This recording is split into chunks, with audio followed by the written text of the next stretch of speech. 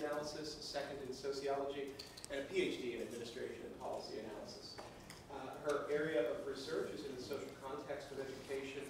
Uh, she's looked at the impact of desegregation and choice on families, schools, and neighborhoods, and she's looked at the impact of private school markets and demographic trends on voucher policy. Her most recent book with Ellen Goldring on Harvard Education Press addressed desegregation. It from the courtroom to the classroom, the shifting landscape of school desegregation. Her research has received a lot of attention. Uh, she's received funding from the William T. Grant Foundation, the U.S. Department of Education, the Spencer Foundation, the Danforth Foundation. Her work has been featured in the New York Times, uh, in the Washington Post, on CBS 60 Minutes, and other national media outlets such as the USA Today. She has impressive publication record. She has published in some of the top journals in education research, educational evaluation and policy analysis, Teachers College record, uh, the American Journal of Education. Um, so we're very pleased to have you here as a scholar, Claire. We're Thank you. particularly interested in your expertise around the professional doctorate in education. Claire is a professor at Vanderbilt's Peabody College, and she has worked on the redesign of their EDD program, which offers professional doctorate for those preparing for careers in practice in K-12 school leadership and higher education. Uh, Their program is nationally known for its innovations. And when I called my colleagues Ellen Goldring and Joe Murphy at Vanderbilt and asked them some questions about their program, they said, you have to talk to Claire. So we're very pleased that you agreed to come and speak with us today. Uh, So without further ado, please join me in giving her a warm welcome. Mm, Thank you. Well, thank you very much, um, Roger. Um, I feel like I better get back to work and continue some of that, those lines. Um, it's really a distinct um, privilege and honor to be um, here at the Ohio State University. It's my first trip um, to Columbus, and I can't tell you how much, um, or I can tell you how much I'm enjoying uh, my interactions, conversations with your incredible faculty and staff. And I look forward to conversations with students as well. Perhaps we can carve out a little bit of time because I'd love to get your perspective, um, your interests, and, and your concerns um, as well documented. Um, so I want, yeah, I'm going to chat with you today about the um, EDD program, and we can we can also um, cross fertilize that conversation with a discussion of the PhD and how um, Peabody has made each program distinctive and separate um, over the last uh, seven or eight years. Um, it's been a process. I would suggest that it's ongoing. It's a work in progress. Um, and we'll talk about the, the, pieces that I think are still sort of um, a work in progress and, and fluctuating and require um, continuous attention and refinement. And I think the pieces that we, we feel like we've nailed pretty well um, at this point. But I'm really open to your and, and look forward to your questions, um, your, your um, specific probes and areas of um, debate. Um, so, so we, I'm, I'm, I'm going to be really candid throughout this whole thing and share with you some of the warts, some of the um, challenges that we have encountered um, as we've moved through this process. So I want to start with this really cool, uh, I do think it's pretty cool uh, video um, that was, this is such a odd set of circumstances. We have this Grammy award winning videographer at Peabody. I actually do not know the, still to this day, I don't know the circumstances of his arrival or his continued residence at Peabody College. Um, all I know is that he is extremely well known in his field. He's um, very much an artist. Um, he has a whole array of gold Emmys in his, I know, in his office. Um, he helped me pick out my video camera for a gift for my husband three years ago. So he'll do that, and then he, I was interviewed by the local uh, PBS um, group in Nashville, and they, they were sitting with me and they said, um, we understand that Robert is here um, on your uh, on your staff, do you know how prominent he is and how many Emmy Awards he has won? And I said, I know, I've seen them. Um, and they said, that's just incredible. So I don't know why he's with us, but we're so, so pleased and privileged. And he produced this video, and it did win an award. Um, it, it, won a, a little um, Emmy Award. So um, I will begin.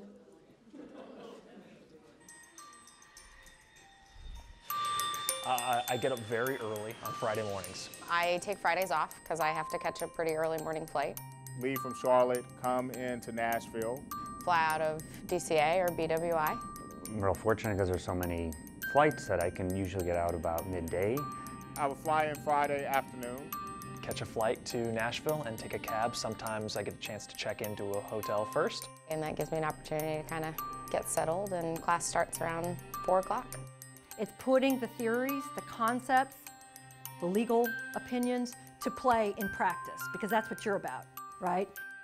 So the EDD program is designed for working professionals um, on the weekends while they're pursuing their, their full-time work. People leave their work behind and are really present in the moment of what's happening in the class. Um, I like that I get to leave my life in DC and be here and, and be able to focus. And think and talk about ideas that are so important to their practice. So part of this weekend is deeply philosophical, it's historical, it's sociological, and it's based in, in some studies of political science as well. The Peabody EDD is designed explicitly to bridge this divide that has plagued education doctorates for decades. We bridge this divide between theory and practice. And what mechanisms can you put in place to support that? And our faculty in the EDD program believe that that integration of theory and practice is best achieved by working with professionals that are in the field. But that, and that goes to reliability. So I feel like it's an ongoing, constant dialogue. It's not one-way learning. I think we're all learning together. The cohort model has been phenomenal. Probably the richest part of this experience has been going through it with a group of equally committed, intelligent, fun people. Prior higher education has been really incremental with change. You know, There's folks who are uh, teaching in the classroom, there's folks who are superintendents. From independent schools, charter schools, public schools, They've almost all uh, taken on leadership roles in higher education. They're deans, they're associate deans, they're directors of admissions. Um, assistant superintendents, principals. That makes for an incredibly rich experience. One way to know whether I've developed a much bigger professional network. I've also gained a bunch of friends. We eat together when we're here. We talk together all the time. We communicate when we're not even all together on campus. And we really support one another. That has made it uh, possible to get through this kind of program. It's a lot of work. Um, people need to know that.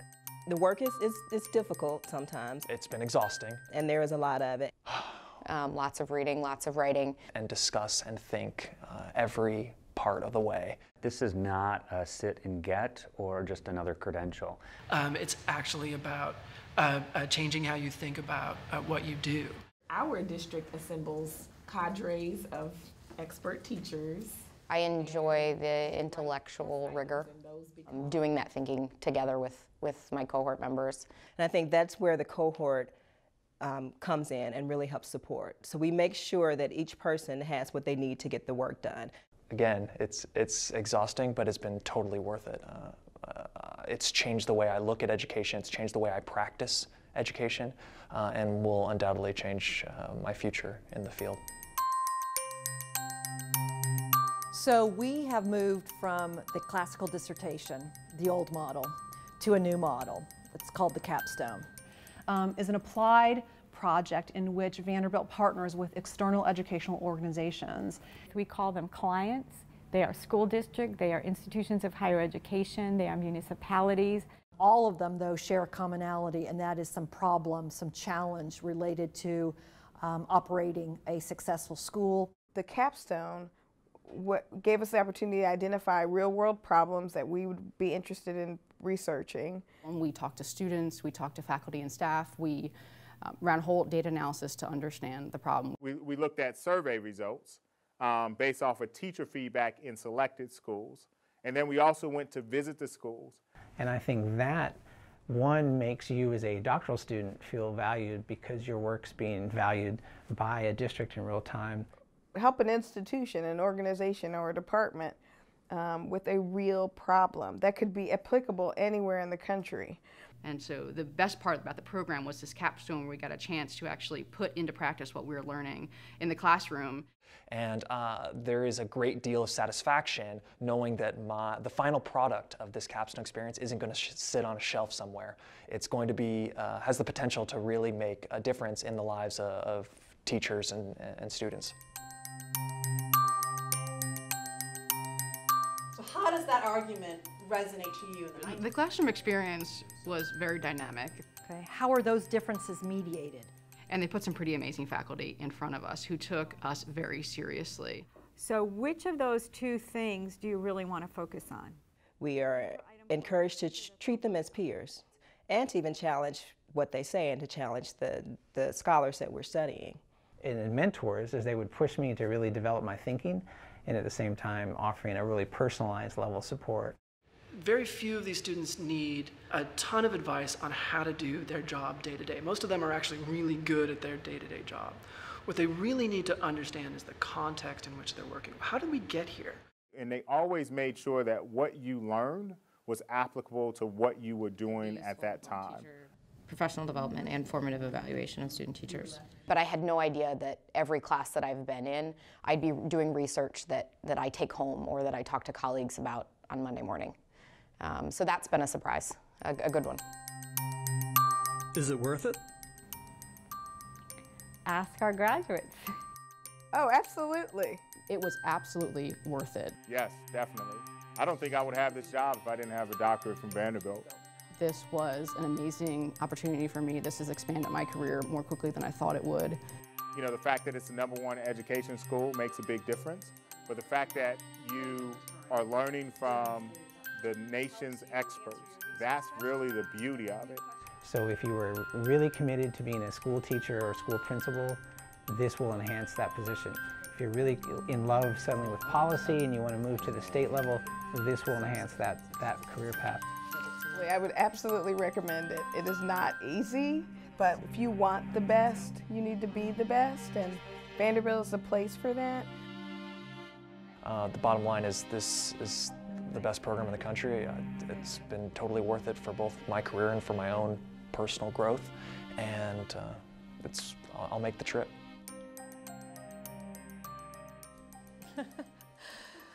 I don't know that we're the best at all, so I think we're good, and I think we're striving to be the best. So I want to add a little disclaimer um, there, um, and and then talk. You know, we'll, we'll talk more about that. But um, okay.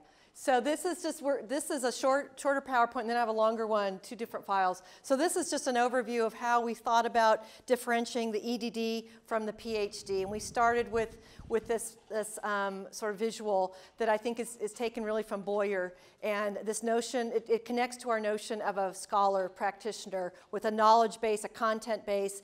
Um, exposure to a whole set of explicit leadership skills, a toolkit, if you will, and then as, as one of the students said, understanding context, and that's demographic contexts, that's organizational contexts, um, political context, policy context, etc.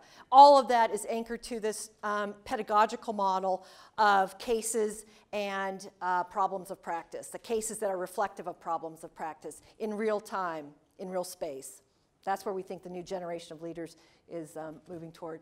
So these are some of the major features of this EDD as we moved um, to really differentiate. Now, let me say, back in the um, early 2000s, this, the two programs sat right on top of each other. They were indistinguishable. Um, except for one fact, you were PhD in, in your files and an EDD in the others.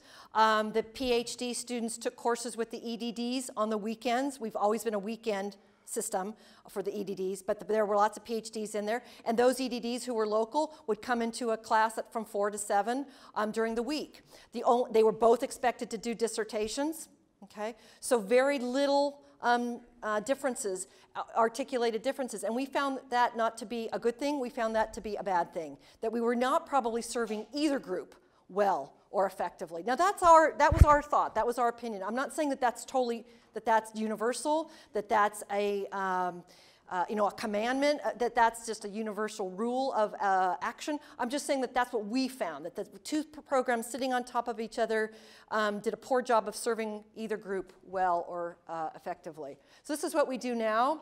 Um, I put the National Advisory Board there at the bottom as a possible addition. This was an idea of a former department chair. We never moved on it. Um, I think there's some value to thinking about a National Advisory Board. We have yet to um, develop that piece. Um, we'll talk about each of these as we move forward. Okay, there's our target audience, and you heard um, that um, expressed a little bit in the video. So it's pretty broad. We're throwing out a big net out there, and we want it to be um, diverse. And we're going um, the entire continent. Um, we used to be much more of a regional um, program, um, big in the Atlanta, um, I think, metro area. We were pulling from there, pulling from Alabama, and of course from the uh, Middle Tennessee area. But now we have a much larger national focus. And that is supported, as I've been talking to several groups about this, with a marketing and outreach campaign. So we have benefited from a budget, a marketing budget that is ample. And then um, capacity is not only money, but it's staff. And we had a director for external relations, Dr. Tim Caboni, who finished his PhD in our program and then moved right into the dean's office. And he had a head for this stuff. And he, he developed this marketing strategy that is now in place. And it's all ready to go. And it targets professional associations and their mailing lists and sends them emails and also paper and goes to their we attend their conferences, and then it goes to the um, publications. So Ed Week and Chronicle of Higher Ed and Peabody Journal of Education, New York Times Washington Post. Somebody said to me last night they can't, they can't escape the Peabody um, advertisement. I didn't know it was that extensive. They said they even found it on the airplane. Is that right, Dean? Sorry for that. That's a little bit too, um, like, ah, get me.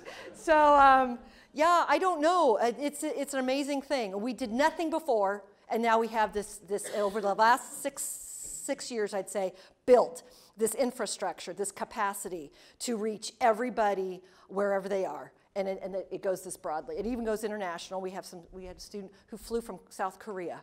Can you believe flew? Yes, exactly.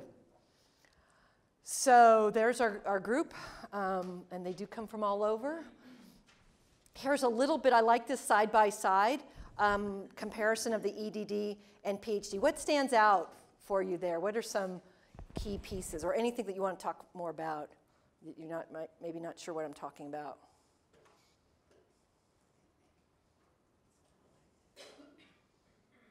Does that look familiar to kind of what you've read about in terms of ways to distinguish, not necessarily the way, but a way to distinguish the two um, programs? And how did we do this? We sat around, the faculty sat, we talked to students, um, we talked to people in the field, we talked to a lot of superintendents, um, and um, faculty sat around, and there was just a lot of uh, consensus. Uh, one, for the need to change, and then kind of the direction to go. Not, not to say we didn't have some disagreements, some, some really productive um, discussions that um, highlighted um, disparate views, but I think uh, we, we all settled around this. So at the same, so what I want to underscore is while we were differentiating the two, we were building up um, and clarifying the PhD and the EDD, both simultaneously, okay? And I think we continued this work. We continue today with this work. Here's a little bit, admin, I call this admi some administrative differences, but there's your GRE. PhD is post-bachelor and bachelor's or bachelor science. So a lot of the, our PhD students are right out of undergrad for better or for worse. I worry about that. Um, and we can talk about that at some point. But they are 22 year olds, many, and they're coming right in. Um, they have really high GRE scores, but they have no experience. Um, and they're guaranteed five years of funding at this point in time. 1200 GRE, I'll just say a, a, bit about that. That is not something that as a department or as a faculty we determined. That came from higher up. I'll just leave it at that. Um, and it was, we were told that would be our, our cutoff. And what we do is, uh, of course, it's an individualized, holistic review of every applicant. And if we feel that there's a compelling case, which there are many are, uh, of who has just a little bit below that, say 1100, um, we can go to the dean and we can make a case and we can say, you know, these are the other pieces This is the look at this compelling essay, look at this record of professional experience, look at the academic rigor from their two prior institutions, their undergraduate degree and their master's degree. We think this student is going to contribute to the cohort, and we think that they can be very successful.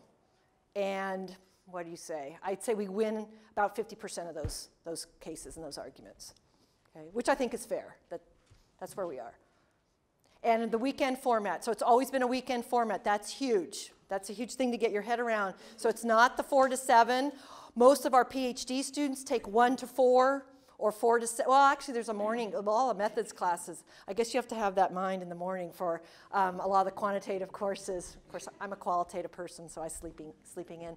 Um, and um, so um, which are great, three-hour blocks for the PhD students, the youngsters, as I call. Um, the weekend format seems to really work for our students, as you saw. They do fly in from all over. Some do drive in. We still do get a big, a big group from the um, sort of the Atlanta metroplex, the Charlotte area, which is so interesting to me. Um, but uh, increasing numbers fly in, which I just can't even imagine that. Um, and the hours are, they fit within the required out contact hours. Um, supposedly or formally, it is uh, 4 o'clock to 9 o'clock on Fridays and 8 until 6 on Saturday. So that gets you your hours.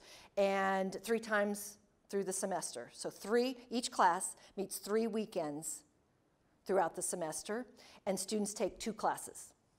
So they are on campus a total of six weekends each semester and the EDD is nine semesters, continuous nine semesters, starting in the summer. Okay, I'll say a little bit more about some of the specifics later. There's your sort of typical, but they're really, you know, it's, it's highly variable. But uh, as you heard in the video, those are some of the kinds of the background profiles or current, current occupational roles or positions when they enter. And you know, we were talking about this earlier, in many cases, after they finish their degree, you can knock off the assistant. So they become the principal, the, the director, um, the dean, when they had a, formerly an assistant role. Or the teacher becomes um, the principal. Okay, this is a lot on this, on a lot of text on this slide, which I, I try to avoid, but uh, participants should possess, you know, these are, this is what we're looking for. So the writing skills, the ability to work in, uh, on a team, to co-construct a project, because I think that's real world. Um, important to understand both the um, political frames of a particular problem, the human relations frame. We provide um, some deep um, knowledge around budgeting and finance, learning theory, those are our planks politics, economics, learning theory, and sociology, which is sort of human relations, I guess, there. And in a good evaluation class at the end. And I can, you guys can get a copy of this so you can, if you want to look at those a little more slowly. This is how we appraise uh, student performance and progress through the um, program. So, of course, we have traditional course grading. You must earn um, at least a B average in your methods courses. Sometimes that's a problem. That, I will tell you, that becomes a, a discussion. Um, that is often the subject of a faculty meeting with the student. Um, it does not look like you're going to make that. Um, we, we see that, or if we see that early enough, we can provide some supports, of course, some tutoring um, in one of the courses, but that's big. Um, there are four methods courses, and you, they must earn a B average, and that is sometimes um, uh, tenuous. Looking, looking that that can be threatened by a low score, a C, a C grade, which in graduate school really is not acceptable. Um, they do, uh, we have a written comp exam at the end of the second year. It's about mastery, synthesis, and application. So we, can, we continue this application um, emphasis in our EDD comp exam, just as is emphasized in the program throughout, um, taking knowledge, um, taking a problem and applying it. um, to a problem of practice, a case study to a problem of practice. Um, it's a take home comp exam um, that has been very contentious. I'll tell you, among faculty, we've had really good battles about that. So I was on the take home side, and somebody else was on the no, it should be a sit down, especially for methods, sit down, uh, demonstration of mastery, particularly. And we have decided to move back to, to a take home. We think that is better fits, again, these students, their, their uh, career pathways, and their preparation, what we've done in, in this class, in these set, sets of classes. And then the capstone project. Should there be an annual performance review, like we do for the PhD students? We sit down every spring, we review, all of us, a group of 12 of us, I think, sit down, we review student by student. We bring in some food because it takes a long time and it can be very uncomfortable sometimes. And these are students who are fully funded. They cost a lot of money, as I know yours do too, and we love you. Um, but you, you are very costly uh, to the institution. And so if you're not making adequate progress, and you took a seat, by the way, and you're taking in a lot of money that somebody else didn't get. So we do that for the PhD students, and we counsel some students out of the program early as early as possible. Well, should we be doing that for the EDDs? We don't. I told you earlier, it seems we wait for that bad grade or poor performance in the methods. And I think this is, we, we should probably be moving to this. There are always signs after the first year. Remember, these, these students too start in the summer. So by the end of the spring, we have three semesters worth of coursework. We have six classes that we can evaluate. So I think we, though it takes so much time, I think this is really important um, for the integrity of the program. And, you know, it's, a, it's an ethical issue too for the, the student because why keep the student if they're not going to be successful? Why, why keep accepting their money? Um, why keep them enrolled? It's not fair to them. They may do really well in another, another um, doctoral program. Um, it's also nice to, to tell lots of students, the vast, vast, vast majority, almost all probably, that they're doing really well. So an, an affirm, affirming of their um, high performance would be nice too. I'm going to talk about the capstone experience. I think this is actually the last slide of this, um, but just to give you um, just a heads up here, it's definitely constructed um, to be consistent with the course, the co course content. It's problem-based, and we're gonna, I'm going to talk about these clients. We call these folks clients. These are the, um, the, the source of the request for assistance. So I think that's it on that. And if I push escape, then I'll get down to this and close this out up here. See, I'm a Mac person. This is Pull up the other one, which would be up here.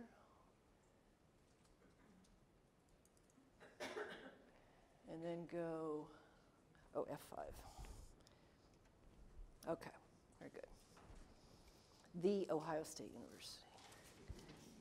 I love that. Of course, we love Eddie George. Where you're from, okay. he is such a nice man, too. We saw him Christmas shopping last year. Um, very nice guy. Okay, so this, I'm going to talk about the coursework to this, the scaffolding, the framing, the research and application. So from coursework to capstone, we spent a lot of time as a faculty talking about that. We'll unpack the elements of the capstone. I'll talk about the lessons learned, again, being really candid about our mistakes. I will look at a couple of, well, you have some examples that we sent earlier. That was the scope of work, the um, seminar syllabus, et cetera. And then I'll talk about moving forward. And then, of course, your, good, your questions. So let's look at some of the EDD core courses. I think these line up pretty well with your um, courses. Tell me what you think of this list. So we, we start with learning and instruction actually the very first summer. Remember, they begin in the summer. Our EDDs begin in the summer. Uh, leadership theory and behavior follows. This is pretty close to actually the way it, it, folds out um, in terms of core courses. So these are the core courses. Let me explain this cohort. We take in about 25 students per year. 12 or so of those are in higher education leadership, and the other 12 or 13 or so are in K-12 leadership and policy. And they take these courses together. The higher ed EDDs, who come from you know, student affairs, admissions, financial aid, academic program, and the um, principals, assistant principals, assistant superintendents. They're all in these classes together. The bottom four are these what we call the methods courses, or they're you know, decision analysis, because really it's all about making good decisions, right? It's all about problems, addressing problems of practice. So we use that terminology here to be consistent. And I teach the qualitative, I teach decision analysis three, and I teach the context of educational leadership and policy. Any, any questions? Does that flow, does, that overlays nicely with your course selection, I think, um, in many ways. Now here's the specialization classes, and I, I, saw a lot of consistency here as well with your programming.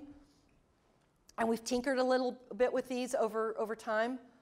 Um, the diverse learners and at-risk, that was not an original course in our redesign six years ago, seven years ago. We added that more recently. Comparative issues in education, that's the international piece. And I'll tell you, that has been a, I'm kind of neutral or even agnostic on, that. But that one seems to be, we have some faculty who think that's really important, um, that this is, uh, education is a global um, topic and policy, and others who think that is, that should not be in our, in our list on the specialization, that there are other issues that should, should take its place. And you might think about that. I don't know how you feel. What's your position on international compare? I think it's important. Actually, maybe I'm not neutral. um, as I think about it. So, um, and the politics, of course, and then well, look at that name, resource allocation deployment. Who came up with that? That is fine. That's, that's school finance by another name. I think Jim Guthrie came up with that um, title, but um, you know what we mean. I think there's stuff missing, right? This is not perfect. So you might map on, you might think about other stuff that we're missing here. What about the higher education students? Yes. That's a different list. Oop, there you go. And take a look at that. Does that map on to yours? What's missing? So I, am really open to, you know, your, your diagnostic assessment here. And we've got comparative is issues there. And we have five um, tenure line uh, higher education faculty members. Again, we all teach in the EDD program. We all, almost all of us teach in the PhD program. I could only come up with, when I was thinking about this morning, only one professor I can think of who teaches in the PhD and does not teach in the EDD. So we are fully invested in both. We also teach undergraduate. We have a big undergraduate program at Peabody, big, biggest major in the whole university is at Peabody. And we take the um, one big track of that HOD undergraduate major. We are all absolutely required, no questions asked, no exceptions. We are all required to teach in the undergraduate program. We, I love it. They're an interesting group. yes? Are students required to take all of the core and all of their specializations? Yes. And do they, are they allowed to cross-pollinate at all? So could a K-12 person take the Very good question. Education? Yes. No, because they can't fit it into their schedule because of the way it yeah, plays out. That's a great question. This is locked in, no electives, no changes, questions. So you have to think about, you know, is that really the way to do it? Um, we decided it was because we decided this is the content knowledge we think our students need. And we want it sequenced this way, and we want them to have this, I call it playbook, um, for their interactions in their professional lives at the end. This is it. No, no choices. I don't know if that's the right way to go. That's what we decided as a faculty. Yeah. Life comes up for students oh. Such a great question, and it does every year. Uh, yes, they have to wait. They, they just wait and come back. And that's typically what they're asking for anyway, so it's not a big yes, and life does always happen. Um, illness, change of job, divorce, um, those are the typical three, and um, almost every year that, and we'll say we'll we'll assist that student, and they'll just come back and join the, the next cohort the next year. Yep. Yes. For the courses that everyone in the cohort takes, so like for example, leadership theory and behavior. Yes. Have you recruited faculty who can speak to both a K-12 context as well as a higher ed context? Mm, that's really good. have issues where That's really good. the person teaching this, the students say, this person only gives examples from Yes. elementary school. Yes, yes. I work in higher education. Yeah, perfect snapshot of, of a reoccurring challenge for all of us. So we've always taught leadership. Um, the social context class was something I've always taught since I joined the faculty. Right, but um, I don't really focus on higher education. I mean, in one, only in one domain when I'm talking about race. Um, and race policies too. So we had to embrace, we had to start thinking more deeply. So I walked across the hall, and at the time it was Jim Hearn, who's now at University of Georgia in higher education, and I said, "Help me, give me." And now I, now I talked to Stella Flores, as you may know her work real well, and and so help me with some some papers. I want to just season. Um, I want to integrate those works. Um, I think I'm only I'm still I'm still working on it. I would say I know the higher ed people say have said uh, from time to time we get so much K-12 um, in those in those because most of K-12 funny thing most of K-12 faculty are the ones teaching those core courses. I'm not sure why that is so much, but um, so I would say that there's still a tilt a little bit toward K-12, and we're still working on it. Um, I will also tell you though that to some degree, and the higher ed faculty will back me up on this. John Braxton, Will Doyle, Stella, um, our, new, our two new faculty. Hey, our higher ed faculty, stop whining. Um, you need to know this stuff. You need to know that you don't get an 18-year-old out right out of, you know, at birth. Um, they, they actually have this whole school history when they arrive at your institution. How about that? And so you need to better understand those issues of academic preparation, of poverty, and how that has impacted this, this um, adolescents, is now young adults, progress or pathway toward higher education. Get over it. Um, I mean, I'm a little bit of that, but I've, I've, I've really, I've, I've used now, I use the Bowen book, if you want to look at this, really great piece. And similarly, K-12 people, you need to understand where your folks are going, you know, and which pathways they're taking because of what you did, how you thought about these issues, how you thought about poverty and housing and other social policies, how you thought about the deployment of resources and school finance. So let's all get together around this. So I think I would tell you, you hit, hit it on the nail. That's a continuing challenge, and it's incumbent upon us to, to continue to do it better. But yeah, I think it, we are doing it, and we're, we're getting close. That's a great question. Okay. So we take this from Boyer, and this is our this is the um, kind of the foundation. This this thought, uh, this concept, um, this principle, um, really informs our concept of the scholar practitioner. I don't think there's anything more important than, than the quest for this, um, the quest of this goal. Okay, so the capstone. These are some highlights. So we send out a request for assistance, but we also now have a whole uh, Rolodex, to use a really old fashioned term, of um, capstone clients. And these are school districts with whom we have worked in our own research. Um, they, they come sometimes recommended to us from, from colleagues at the University of Michigan or a colleague from mine at, at uh, UCLA might say, hey, I know this, this school district would love to, to work with you. I've been working with them. They're in Arizona. You know, contact them. Foundations. Sometimes we're getting our recommendations for potential capstone clients from our own students. But here's the thing: you cannot work on a capstone involving your own school district. No way, no how. Now that doesn't mean we might work with a school district. You as a, you just can't work on that capstone. You'll select a different capstone. That came up this past year. Um, we have uh, really good relationships with Jefferson County Public Schools, that's Louisville, Kentucky, a really good relationship with our own school district, that's Metro Nashville Public Schools, big school districts, urban school districts. Now we have a thriving relationship with Jonesboro, Arkansas, and, it's, and, and four um, contiguous school districts, and that's rural. So that's giving us a really good opportunity to delve deeply into some rural education contexts policies and um, programs.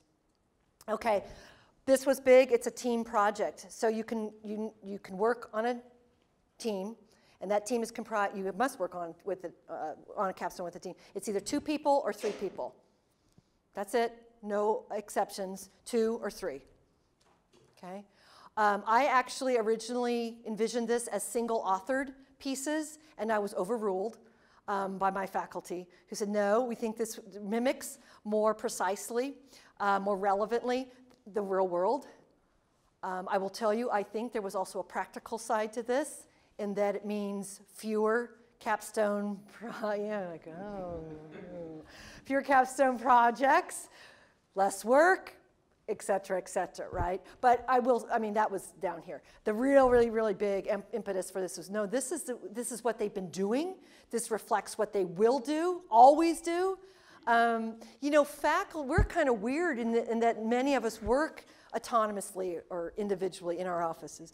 Um, I, I, work mostly alone, actually, but I don't think that's, that's typical in the world of practice. So I think this, this idea of teamwork, this co-construction of a, a, problem identification and product is, is really parallel, fits nicely with their real life.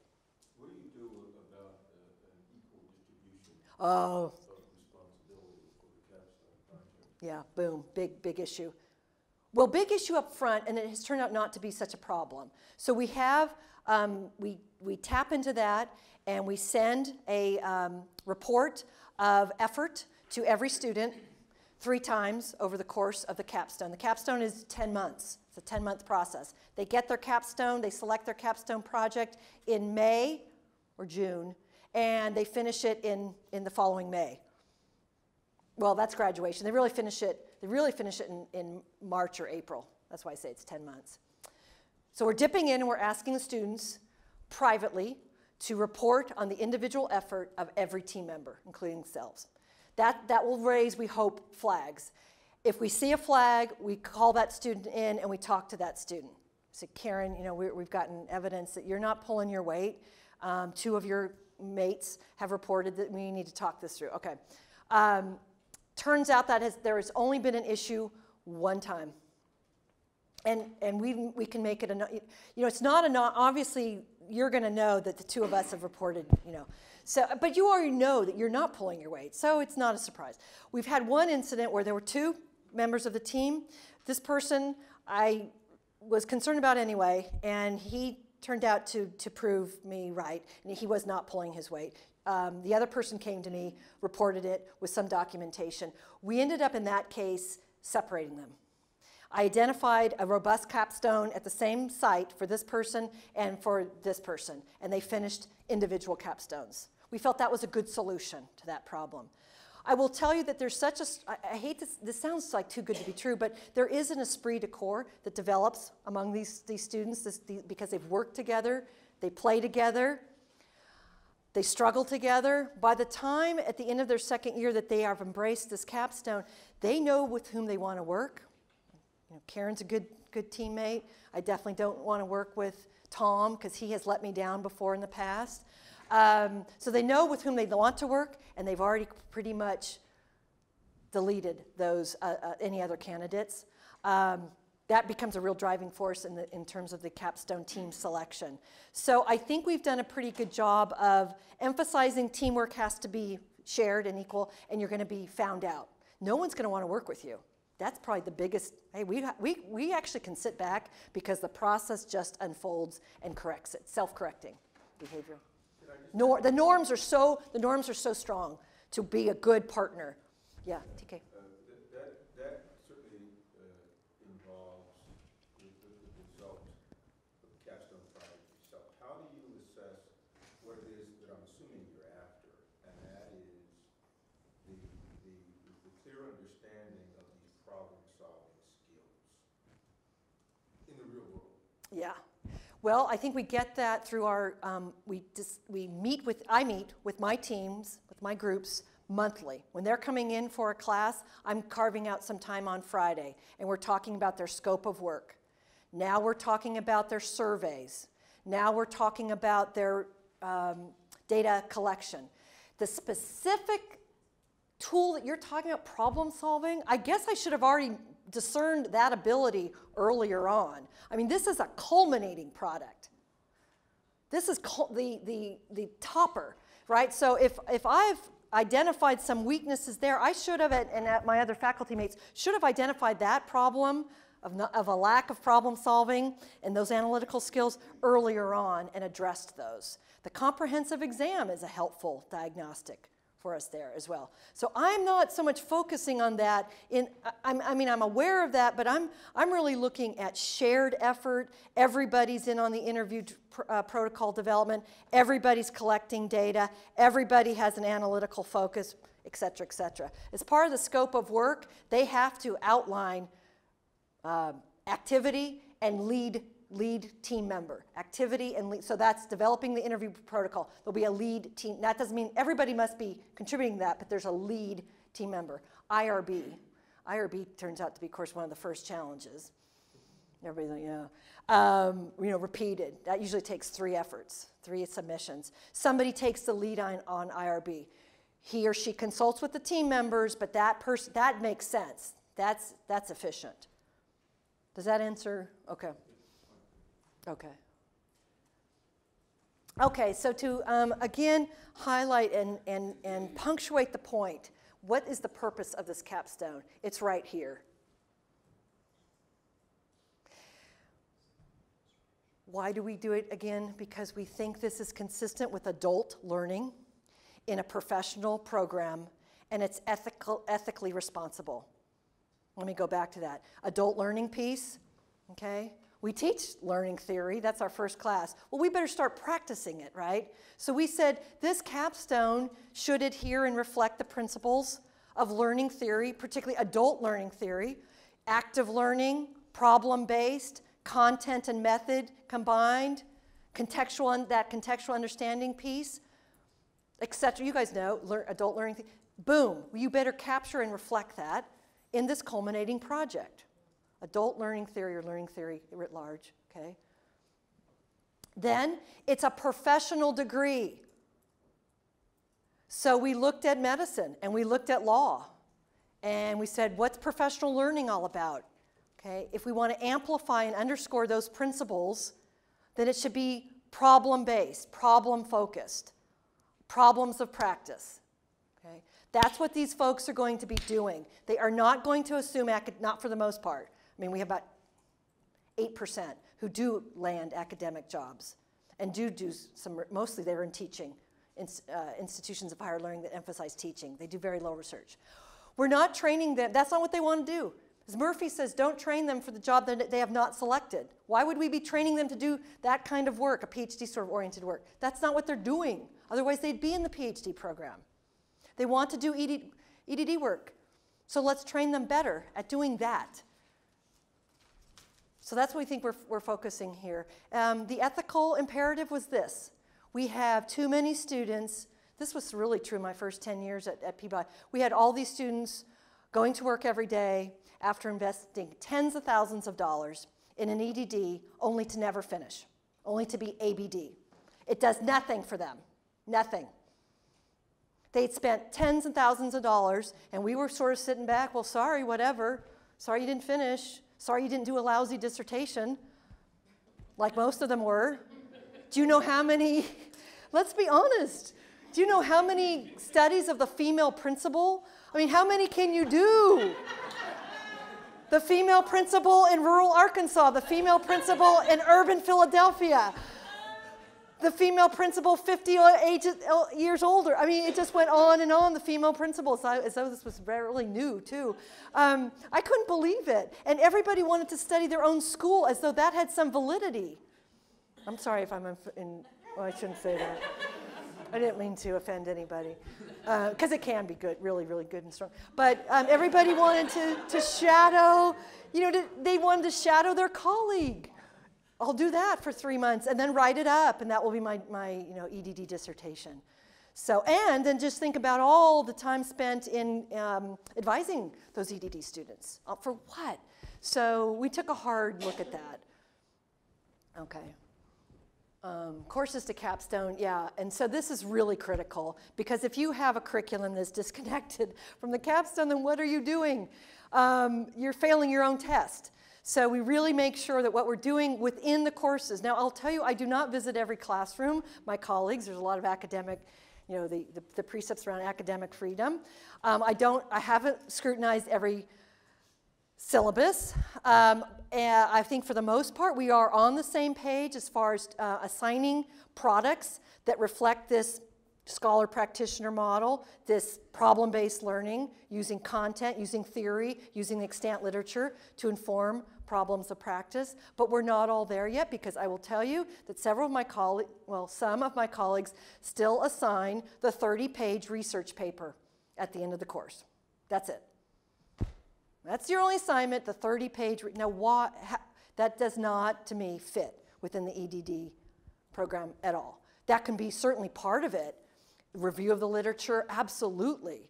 Demonstration of um, understanding, mastery, application of these theories, absolutely. But just this third, that's it? No, it should be applied. But some folks are still doing that singularly. Um, that's their, the basis of the grade. I don't, I don't think that is terribly helpful. I can get you these um, copies of uh, these syllabi. Okay, so this is the process of developing the capstone, so we can just walk through these steps. Um, and it, it's also a lesson learned, the initial meeting with the client. So these are school districts for the most part in K-12 and colleges and universities in higher education. Also systems. So one of our brilliant new clients is the National Association of Independent Schools, NAIS in Washington, D.C. They are dynamite. Dynam that sounds like they're bad. They're really terrific uh, or explosive. And um, we've worked with them two years ago, and now John Chubb has assumed the uh, presidency there, and he is super supportive of a continuing relationship. So we would, and also because we're getting increasing numbers of independent school leaders. I don't know if you are too. And I don't know what that's really about, but we used to get very few, and now we have oh, 20% of each cohort, two or three um, are independent school leaders or, or, heads, as they call themselves. Heads, really interesting um, issues. So we've also had an association, client, the Southern Association of Independent Schools, so a little bit more regional. Um, Tennessee Higher Education Commission, uh, Tennessee um, State Board of Education. Um, those are some good examples. Okay, so the initial meeting with the client is to vet them, is to make sure that they understand a few things. Rigor, this is not a course assignment, this is a dissertation. It has to be huge, it has to be really deep, it has to be a meaty problem. And so I say that in that way because we had a client when the problem was more, was more clearly explicated, it was like something my students could do in a single semester. It was not a, a, capstone. And I kept pushing him to get bigger and deeper and broader. So that was some, some consult, ongoing consulting. We had another client, so I'm just spilling all the, the dirty business here. We had another client who, after thinking this was a great idea, this collaboration, you know, they're getting sort of a consulting project. Well, it turned out they didn't really want to share much of their data, and they really didn't want to give us access to their teachers. Um, I was sharing this this afternoon. Um, they would give us some access for interviews with their teachers if we paid for substitute teachers while those teachers were out of the classroom. We don't have that money. I had never, you know, in my research, I've never been asked to do that. Um, we typically, as I said over and over to them, we'll schedule these interviews at the convenience of the, of the teacher. Before school, we're happy to be there at six, you know, whenever. After school, whatever, or during their planning period. Just tell us. But we're not, we don't have any, I mean, my dean would have gone ballistic. Are you kidding to pay for, I never even took it to her. Um, we don't have that money. We have money for travel, and I'll talk about that in a minute. Um, the scope of work memo is the template. That's the blueprint. That's what we're going to do and how we're going to do it. That's a four to five page MOU, Memorandum of Understanding. That's big. Four to five, four to two five. Yeah, that would be basically the caption, right? Four, I should be more clear, four, two, five. Um, inside that has an, a, a, design for data collection. The interim reports are coming up tomorrow. So I'll fly back and fry, we've got pizza coming in and we're gonna have, uh, and I've invited um, the Humphrey Scholars. We have this ongoing, do you guys have Humphrey Scholars? Oh, they're so great. Yeah. They're from all these education leaders from all over the globe. So I've had three auditing my classroom from El Salvador, um, the Philippines, and Tibet. And um, I've invited them to join. Say they work for the Ministry of Education or of the regional province, provincial education leaders. leaders. Uh, they're going to be part of our conversation tomorrow night. Um, John Braxton directs the higher education capstones. He'll meet with his group, and I'll meet with my group. We used to do it all together, but we think for at this point, for kind of focused feedback, it's best that we separate and do the pizza. And we'll go until about 8 o'clock tomorrow night, and then they're going to use all day Saturday to work in their war, what we call their war room. We're going to get designated space, whiteboard, you know, nice tables, and they're going to work in their teams all day Saturday, and then they'll fly home just like they were here for a class. They're going to fly home Saturday um, afternoon, early evening. They're going to get so much work done. And they're going to, I'm telling them, they're responsible for giving their um, colleagues, their cohort members, uh, feedback just as I am. Public presentation, the draft report is due in, as I said, it's in March. I'll give them comments. They'll revise and be ready to go in April. The public presentation at Vanderbilt is like this. So all faculty, all students are invited. Um, we get, we get um, EDDs who are rising capstonians, so they're just in their second, they're in their second year, and we call them capstonians, and have t-shirts. And then um, magnets and bumper, no, I'm just kidding. Um, and it's great. Um, so the faculty are really involved, but I will tell you again, mistake corrected. We used to hold this on Saturday in April, it's the very end of the semester, and a core group of us would attend, but not, not sufficient. So the department chair said, we got to fix this. And so we moved it to, and we said, indeed. So we, have, we moved it to Friday. Um, out, Friday beginning in the morning. It goes, oh, so we go all day Friday instead of all day Saturday. And we have box lunches for everybody. And it's open to everyone. It's announced and it's open. It's really great. It's really a celebration. And everybody comes dressed professionally. Um, unlike my, my appearance in that video with my shirt hanging out. Um, okay. Yes? Earlier, you had had a slide up that said that the faculty member chooses the capstone project, a couple of slides before this. Faculty select, okay. Yes, okay. Very good to, to help clarify that. So I select the menu. So I'm talking to the clients, and remember, I'm only doing the K-12 side. John Brack, Dr. John Braxton does the higher education side. Okay, so I'm selecting, I'm talking, um, I'll start doing that in February, start talking to the clients, clarifying which clients I want this, this coming year and projects. And so then I select, I have the menu, and then all the clients come in on a Friday, typically at the end of May, and present in person to the students. It's really, it's great. And that is such a commitment. You know, that just shows the superintendent from, from Louisville um, or the director of research and evaluation all the way from Arkansas. They come to Peabody for the afternoon and present to the capstone students. Is that not, that's cool. And, and we have food again. And um, the students then select the, from that menu. They rank order one through three. I typically have more capstone projects than there are teams, so they get lots of choices. I have, um, in seven years, given every student either their first choice or their second choice, and I would say 80% of the time it's their first choice. Now that's what we were doing earlier on. They were, uh, they were given the sheets.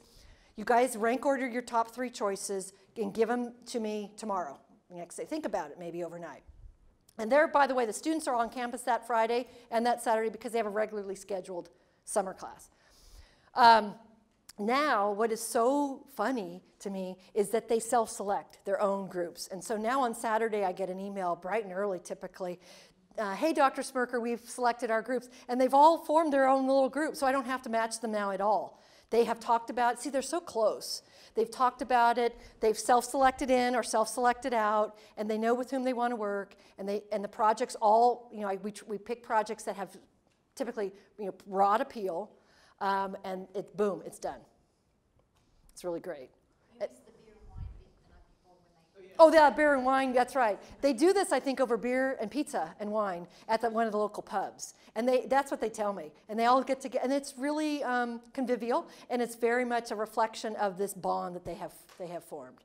I, I don't want to paint this as so rosy, but apparently this is what they tell me, that it really works out, that they, it just all filters through. Yeah. And it even worked when we were rank ordering them,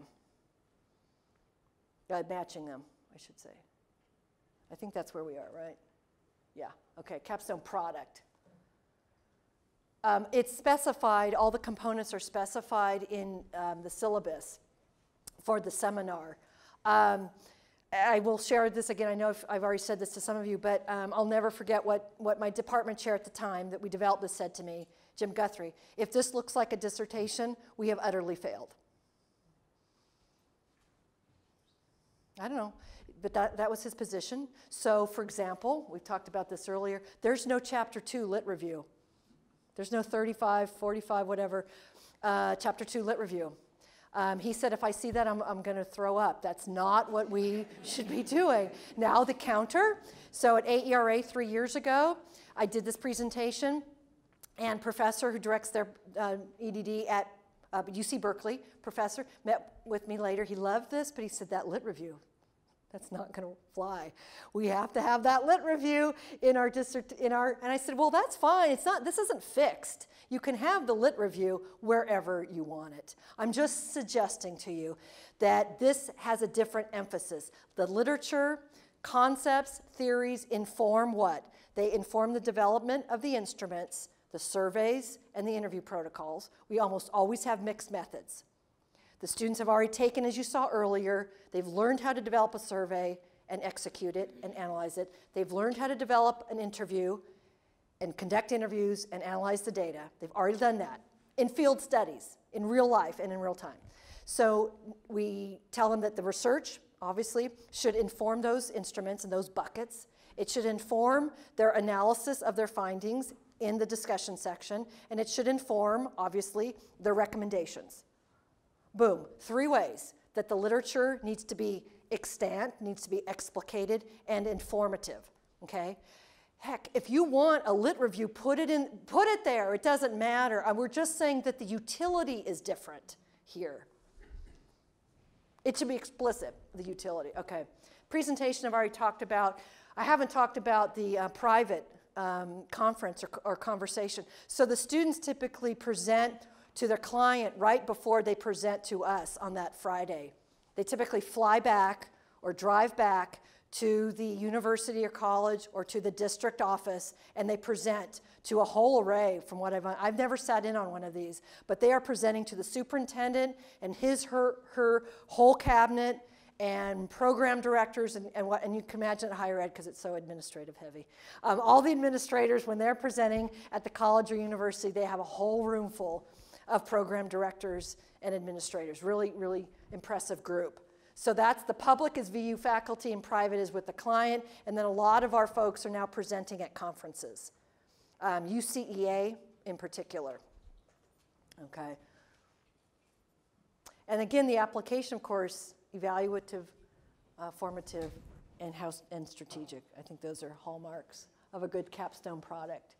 These are things that I've sent to you, or you can um, click on links to the capstone projects themselves. Um, there's, a, there's a distillation of each section. I'll just let you take a look at that. And if you have a question, just let me know.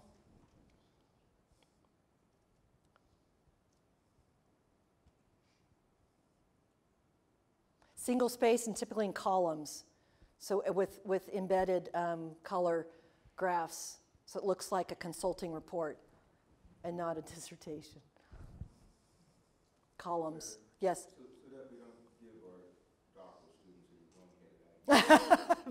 about dissertations? I, I really like what you said about it being embedded into the, the capstone project itself. And I, I'm wondering if you could give us a, a little bit more on that.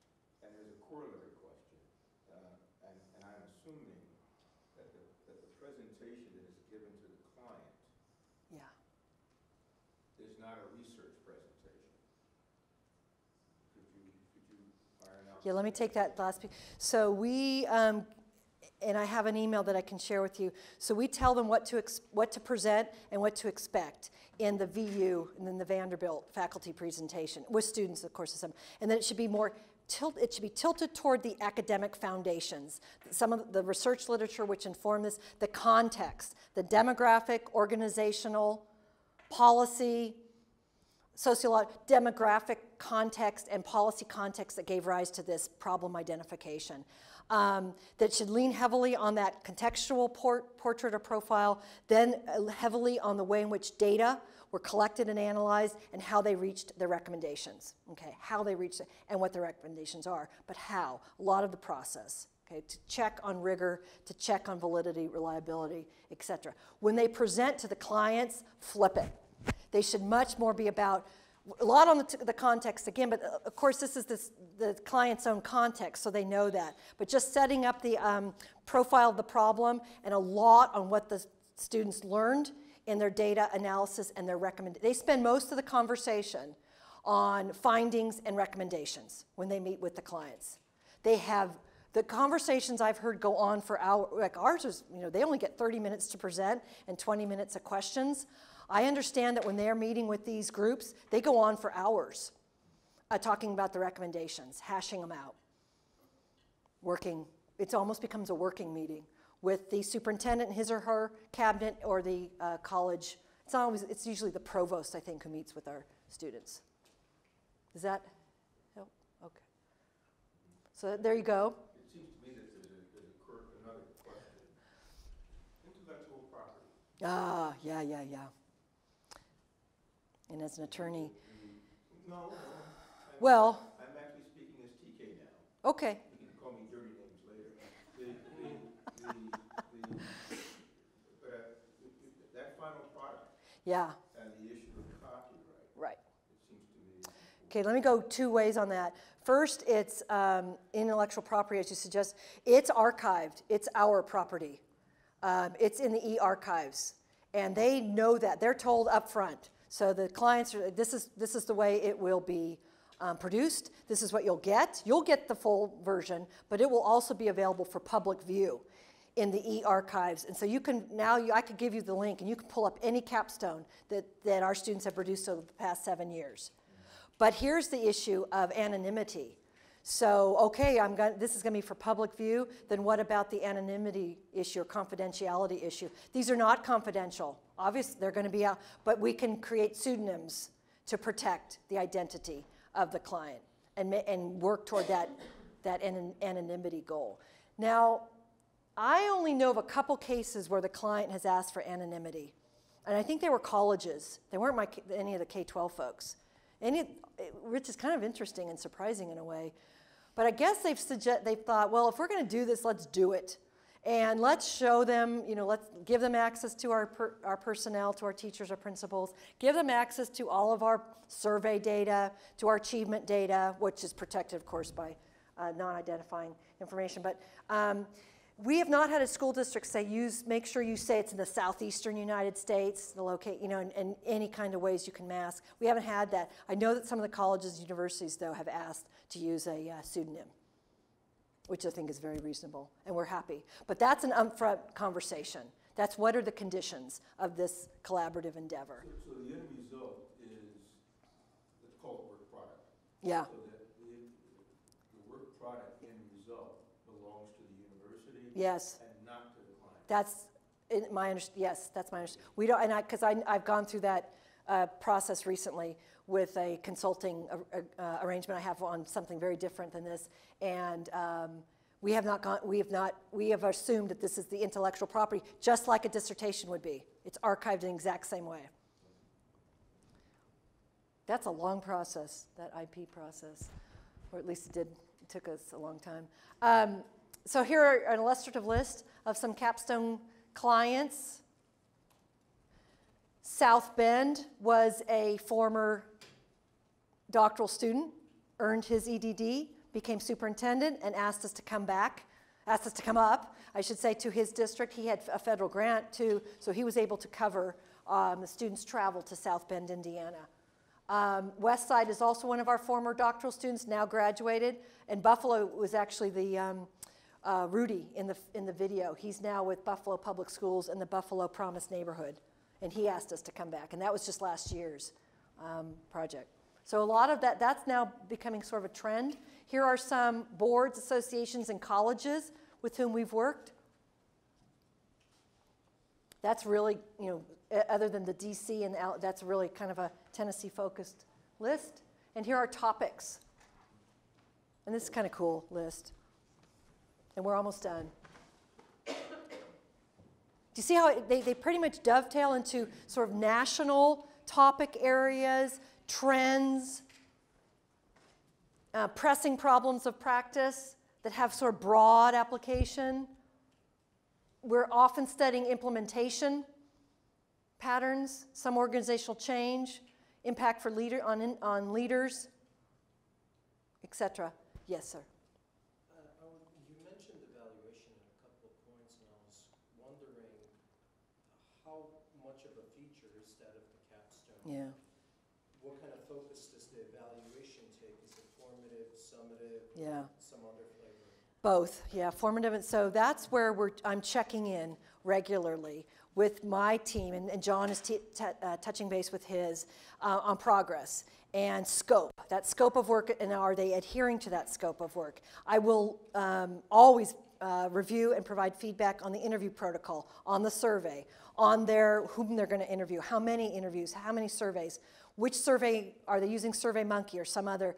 Um, we meet, we meet as I said periodically. Then this interim report tomorrow is huge um, because I'm going to hear what they've now, in some, what they've done, um, what they've collected, and their next steps. And I'm going to give them, I'm going to just assault them with lots and lots of feedback. So that's the, the um, formative, and the summative comes in March when they submit to me their drafts, and it will have a lot of red on it afterwards. So I'm you, typically the problems are not not identifying the problem. They've they've done that. It's often more um, structural. Like this section really needs to go over here, and you didn't clearly specify this this concept over here, and there's a lot of editing that's required. And then I might say, and this whole piece is missing, so you need to add. So that's the what I would call then almost the summative typically the summit of my evaluation of their work. Um, when they present to the Vander Vanderbilt faculty, I've signed off on it at that point. They have made the changes and, and resubmitted it. what about, uh, I, I, think my question really oh, sorry. that's clear. Uh, with respect to the substance of the report, the capstone that they're presenting to the client or to you, are they doing a formative evaluation in oh, the school system? Are they? Okay. Are so they we're, doing a summative evaluation or how large is the evaluation component in, in the their, capstone okay. project? Okay, very good question. I'm sorry I didn't, yeah, I missed that. So, first of all, only a fraction of these are actual evaluations. I would say they are more of a um, analysis of an ongoing program implementation. Um, it's not a, it's not a, so it's not a distinct program. It's a, it's a new curriculum. It's a freshman academy. It's a um, teacher evaluation system that has come down from the state. Um, they are not evaluating really the success of this program as much as what's happening in the field. How are people responding? What organizational changes seem to be taking place as a result of this? So, a fraction of them are program evaluations, but the vast majority of them are an analysis of something ongoing, and they're really looking at implementation patterns and strategies. Um, for the higher education, a lot of it is persistence. What factors are impacting persistence in this college? What is the role of organized Greek societies? What is the role of um, counseling services? What is the relative role and importance of, um, well, relative role of extracurricular um, programs? A lot of persistence issues um, in higher education. So um, they are never summative, never summative evaluations. Thank you. Some uh, on uh, current leader of this value added. Yeah. Um, are you getting much? I see principal evaluation, teacher evaluation models. Are you getting studies on value added? No, because these students don't have the um, quantitative skills. They have not taken Dale Ballou's um, class, um, which is at, at, least his second regression, and HLM and propensity score and all that. They have not walked that uh, pathway the PhDs have. So they don't have that skill set. Um, what they are doing is they're interviewing teachers and principals on how these evaluations are being conducted. What is the impact on um, practice? Um, how are the politics of these evaluation systems taking hold and, and maybe um, redirecting the actual implementation? It's much more contextual and descriptive. Descriptive rather than evaluate, yeah. Yet, Oh, thanks. Um, I was just wanted to follow up on. In, so there were the four quantitative courses, and I teach quantitative methods here, so I'm very interested. seeing how the difference would be between what's taught in the weekend format Ah. and the course syllabi for that, and how it matches what a regular course would be Mhm. taught for the Yeah. And the second question I have is about the, sur- you mentioned the survey, so that students were trained in using a survey, designing a survey, administrating, and all of that. Is that part of that quantitative method? Yes, yes, it is, exactly, exactly. And so to the first part of your question, I would say it's, you know, it's, it's depth and breadth differences. Um, we, we proceed on this premise, that the PhD students are going into a world where research is their number one activity um, and responsibility. And the EDDs are going into a world of practice where research will be consumed, applied, critiqued, utilized in some way to inform practice. We argue that those EDD students, nevertheless, need to know how to design and conduct research using both quantitative and qualitative skills. So we do that in those, in those classes, okay? We do that. We, we run them through design, data collection, and out. They learn how to do that, but they learn, you know, at, at this level, right? At a good level that allows them, we think, to better understand when they read a piece. And we do this. They critique qualitative pieces, and they, and on their, they do it in our classes, and they do it for their comp exam. So they have to, they need to know standard errors, regression co- uh, coefficient, what all that means, okay? So when they read a piece on the um, you know, outcomes of a new reading program, they, they understand what that article is asserting and can, can critique, critique its methods, reliability, all of that. But the, the PhD students are deeply immersed. So it's two different syllabi. Oh, it's completely different. It's tailored to this group. Exactly. It's two different instructor, it's two different faculty members. Yeah. The faculty were the same. No, it's Dale Ballou. uh, no, he teaches the PhD. Do you know Dale? Yeah. Who? Um, so he teaches PhD. I mean, it's it's students are scared of that. You know. And then Will Doyle. Will Doyle teaches the survey, and and Goldring teaches the introduction of that. And of course, they do that work too. But Ballou, no, it's completely different texts, completely different assignments. Yeah. So you started to talk about the comp exam. Yes. Can you share with us how that fits into their program? Yeah, the comp exam is at the end of the second year, and it's a check. It's a check-in point that they have satisfied to our um, degree of, to a high degree of confidence, a mastery of an understanding of quantitative um, data collection, design, data collection analysis, qualitative design, uh, social, all of those required courses, and then a specialization. So they sit and, and or excuse me, now they take home um, questions that test the mastery of that knowledge and their ability to apply it across all the courses that they have completed at the end of their second year. Because remember, in their third year, half of their time is spent on their capstone, and the other half is completing just two more classes. Lesson learned. We used to, to um, enroll them in two classes in the fall of their final third year and two classes in their spring of their final year. The students were dying. Um, and, and they couldn't they couldn't satisfy to our they couldn't complete to our satisfaction really the scope of these capstones so we crossed out those t- uh, those two classes i don't remember Sorry, so the done individually. Oh, yes. Oh yes sort of basis, who, who reviews and approves those? we do We the edd faculty in our fields so i read all the edd questions on social context and uh, goldring rings all the quantitative um, the question on quantitative methods etc there are i think there's three sections to our comp exam it's core specialty and methods And you know what? Let me back up. I think I think we're still doing the methods question. I'm I, I, I think it's still in class. I think they still have to do the methods question in class, and they take home the other, the specialization, and they have 10 days, I think, to complete it. It's, a, it's two weekends because we figure they're working, so they have two weekends to finish the comp exam at home. What was the second section? Core methods and individual? Specialization, yeah. Okay, I think we're just about, oh, more illustrative pro- topics. Oh, this was, this one is, I think I shared this, this is for um, NAIS, the economic impact, the recession um, impact on um, independent private school operations, and that was really good. I mean, they're all, they've all been solid. That one is, I think, really e- exceptional.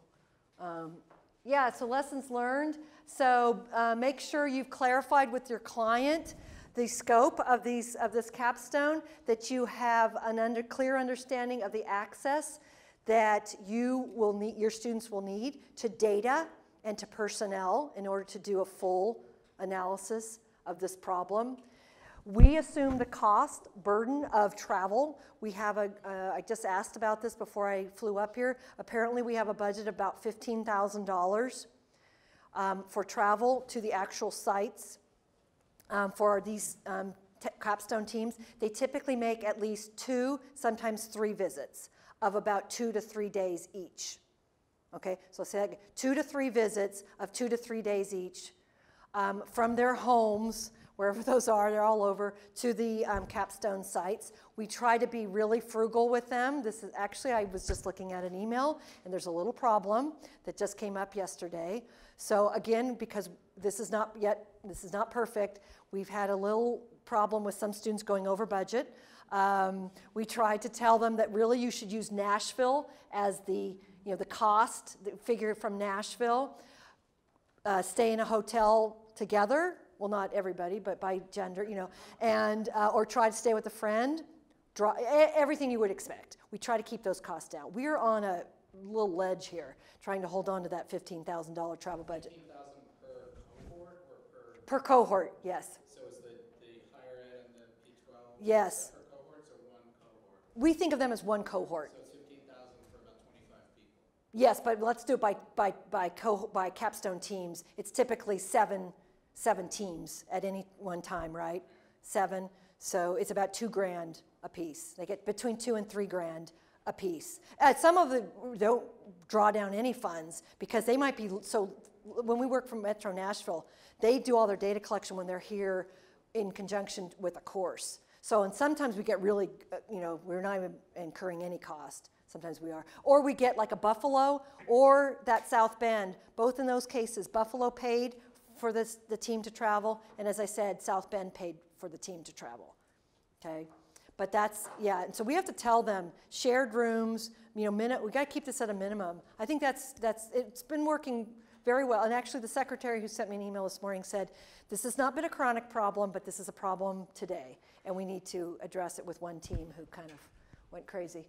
Um, had a really nice dinner in St. Louis, Missouri. Wow. Um, restaurant I would love to go to. So, um, um, project scope, we've really kind of um, walked um, through that.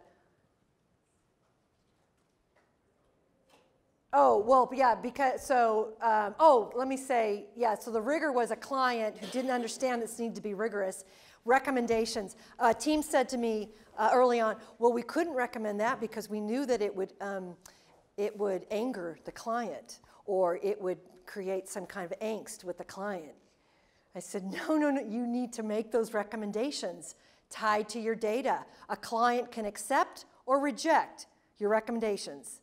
They do that every day with paid consultants. You're not even getting paid. So you make your recommendations, and they can like it uh, or they can reject it. And we, I was telling the group earlier today, we had uh, a presentation to a particular school district made last two years ago, and one person, a high-ranking school district official, at the end of the presentation stood up and said, I think that's a bunch of crap, and I hope that your report ends up in the in a box in the basement. Apparently, she tied it all together. She said, in a box in the basement of our building, never to see the light of day. And she walked out of the room. So she's rejecting the recommendations and that findings and recommendation, and that's fine. That's fine. So let's have a discussion about it. But they need, my students have now been told, I say this at the very beginning when they get their um, capstones, you make the recommendations that flow from your data, from your analysis, and let the chips fall. Um, and I'll stand behind you always.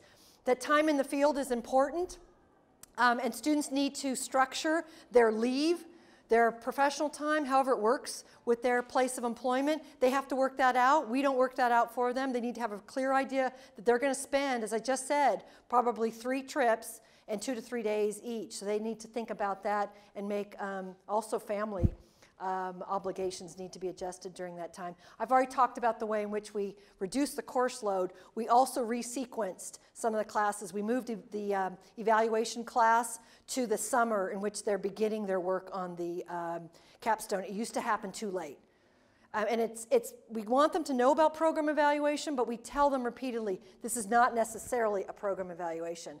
The professor who now teaches program evaluation, Mimi Engel, is just fantastic. She now takes the capstones and she, whenever relevant, she'll talk about issues related to program evaluation and how they relate or don't relate necessarily to the specifics of this capstone process and product. So that's what we've learned. We dropped some classes and we resequenced some others.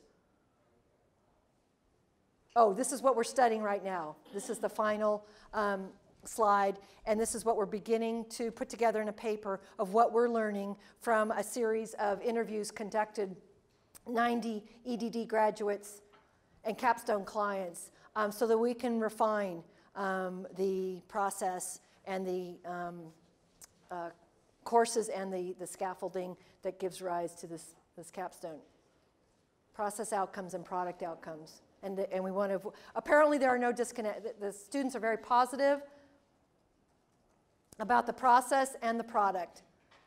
That learning to work in a team, uh, creating these complementary skill sets, and linking the course concepts to the problems of practice in real time pays big dividends to these students. And you saw that, I think, in the video. This is the last. That's it. Any other any questions I can additional questions I can answer? In the interest of time. Yes, we're over time. That's all right. So we might. I'm so, thank you. Thank you, Roger. Thank you all. Thank you.